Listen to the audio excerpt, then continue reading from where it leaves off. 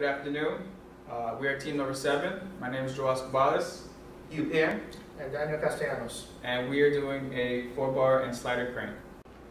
Okay, so just a quick inter introduction.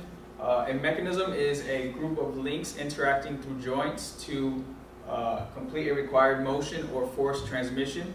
Uh, this can be a group of uh, mechanisms uh, to complete one task or it can be singularly. Um, they've been used for thousands of years for varying, in varying complexities to complete different jobs. Um, a four bar, now our problem statement, uh, we had to analyze the mechanism by finding all the joint motions, uh, calculate position direct trajectory of, of coupler, coupler links throughout the motion, and we had to find a practical application for our four bar, and we had to animate it using SOLIDWORKS 2013. Um, our problem statement, uh, we had to synthesize a uh, slider crank mechanism using the provided position points that were given to us. Uh, we were also given uh, angles uh, that we had to uh, take into consideration. we had to run the mechanism through the motion range. We had to pass through the required points and not let the mechanism lock up. Um, and of course, we had to animate it through SOLIDWORKS 2013 and draw the links in appropriate dimensions, also using SOLIDWORKS. Um, now, a four-bar mechanism is the most common uh, type of mechanism. It is a closed loop of four bars. Uh, it only has one degree of freedom. Uh, the most popular and well-studied is a type of mechanism is a four-bar mechanism.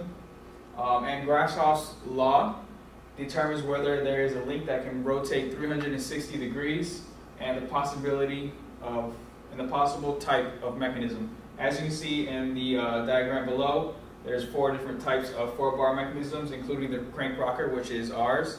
Um, also the double rocker, which is this, which is um, consisted of the shortest link being on the top. The parallelogram uh, linkage, which has two uh, different lengths for links, and ours, a crank rocker, has the shortest link attached to the ground. Uh, this is an example of a static crank mechanism. Uh, it is used to transport rotational uh, motion into translational motion. Uh, it is also a one degree freedom mechanism.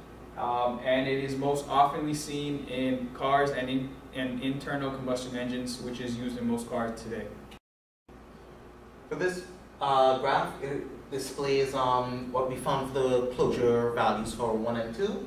There were 331.95, which is the what our subsequent subsequent calculations are going to be based off, and 79.4. This here uh, exemplifies the the motion for our shortest length in the mechanism, R2.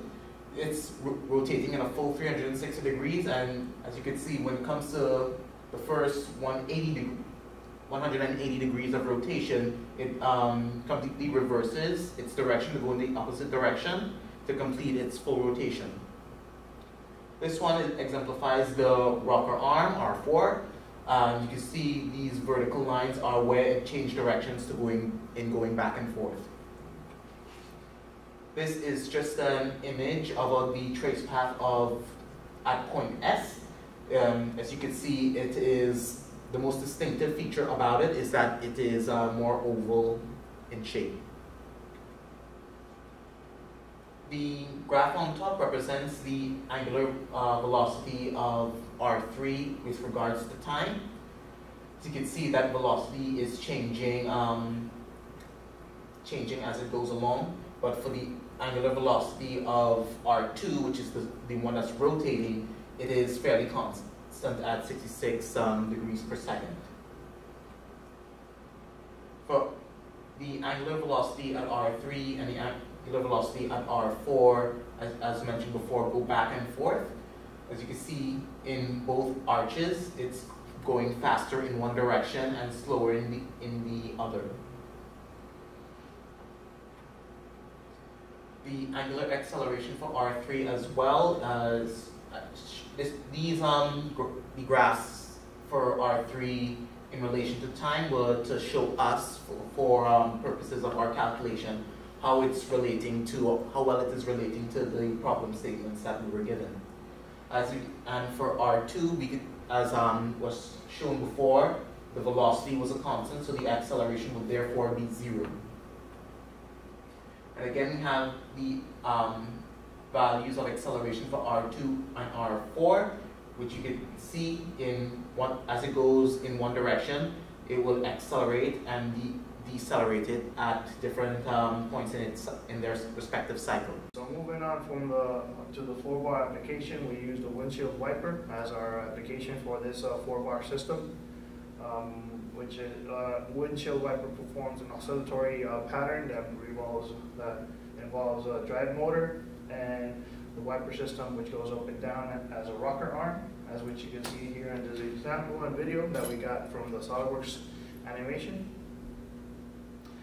Um, this is the continuing on with the crank, crank slider synthesis. Um, we determined that the circle of slides radius was uh, 693 inches. Uh, the coupler link arm, uh, which is th this one right here, um, was measured to be 25.02 inches. The length of AB, which was provided for the points, um, was determined to be uh, 15 inches long. Coupler beta, the coupler AB uh, beta angle was of uh, 7.44 degrees, and the initial theta angle at which the crank crank uh, arm rotates initially is at uh, 74 degrees. Um, the application we chose to use for the uh, crank slider mechanism was a reciprocating saw, which uses uh, the crank arm right here. As it rotates, it uh, slides the slider arm um, forwards and backwards, providing a, a saw action um, at the ends, exactly like uh, in, in, this example. Uh, as you can see, in the, there's a drive motor spinning around a crank arm, and the translation motion provides a sawing action. And this is the animation we got from the SolidWorks animation. As you can see, the crank arm rotates and the slide arm follows a certain path, which was determined through our calculations. So, in conclusion, problem statements, uh, all the problem statements objectives were met. Uh, we found all the, uh, we synthesized the crank slider arm, and we synthesized the four bar uh, rocker crank. Um, we determined that the crank rocker uh, was the, was our four bar mechanism. Our four bar application was a windshield wiper. We found all the theta angles and the angular displacement, uh, as well as the angular momentum and acceleration. Uh, the slider crank was fully uh, synthesized and moves through all three points provided, as you can see from the animation. Um, and the application we chose to use was a reciprocating saw to um, do that example of the motion. Um, as a crank rotates, it provides sliding action, providing uh, the, the translation of motion. And that's been all. This is Team 7. Thank you for your time.